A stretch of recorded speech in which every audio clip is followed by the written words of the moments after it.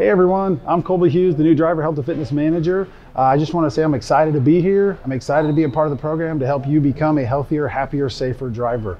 Uh, a couple things I want to share with you is you can get in touch and find some more information on our website, uh, or you can follow us on our social medias or YouTube, uh, or you can, you can call us, email us, or if you're actually here in Springfield, you can go to the Millennium Building, uh, and we're on the second floor above the cafeteria. Actually, come check it out.